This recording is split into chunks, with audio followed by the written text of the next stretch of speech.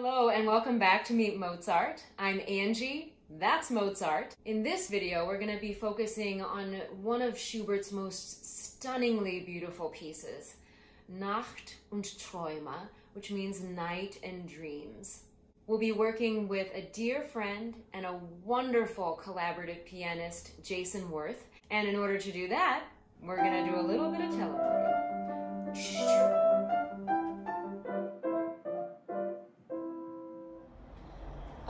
So we have teleported over to Jason's house, Jason's studio. And we're going to be taking a look at three of Schubert's most popular, most famous songs. Schubert wrote his songs during the Romantic era. And one of the big tenets of that movement was a really deep love of nature and a connection with, with nature and how man is united to that. And we really see that in this next song, Nacht und Träume.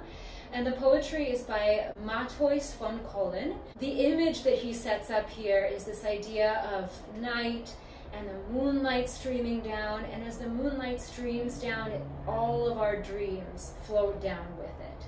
So we've got this beautiful image of, of nature and man coming together in this beautiful dreamlike piece. Yeah, I I love this song. I love the way that Schubert conveys the sense of being out under the stars at night.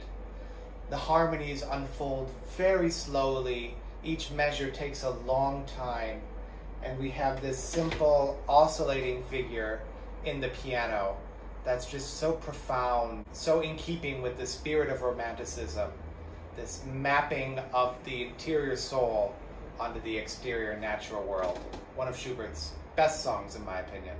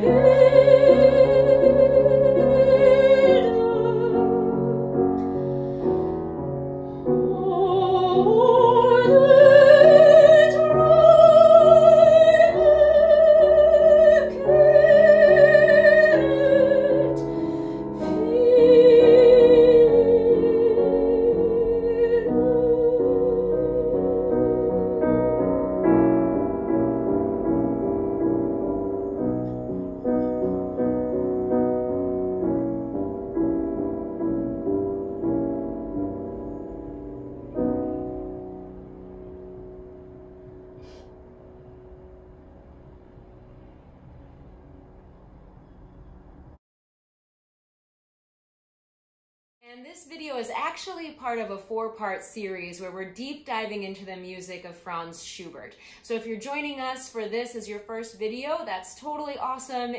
But if you'd like to learn a little bit more about Schubert and who he was and how he influenced art song, then I highly recommend checking out part one, which is our intro to Schubert.